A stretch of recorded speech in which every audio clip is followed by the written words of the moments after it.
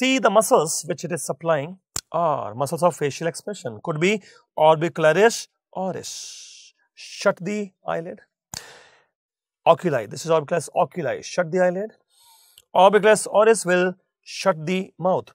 When you whistle, this is orbicularis oris. So, orbicularis oris will help me to whistle, yes. And then I will shut my eyelid tightly with orbicularis oculi, yes.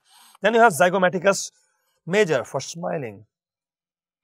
You have zygomaticus major for smiling and you have buccinator. What is buccinator for? Sir, you are making a fake smile. Yeah, fake smile. I can smile also. But, uh, sir, you are laughing now. Yeah, okay, fine. But zygomaticus major is basically for smiling, smile muscle. Why are you telling them like that? Because I have to discuss a patient now. What patient? See, this patient. Why, what happened here?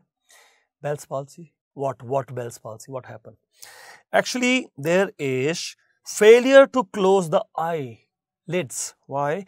Orbicularis oculi paralyzed on left side and cannot smile. Why cannot smile? Because zygomaticus major is not working. There is dribbling of saliva. Why dribbling of saliva?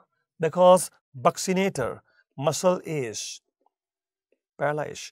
Buccinator normally keep pushing the saliva towards the gut tube. But if buccinator is not working, this is left side. If buccinator is not working, dribbling of saliva. So, dribbling of saliva, yes. And cannot smile? No. And this cannot, so you mean to say I have to pad the eyeball? Yeah, you have to pad the eyeball. And uh, you have to tell the patient, put the finger into mouth and take the food out because collection of food here because buccinator is not working all that problems facial palsy. Okay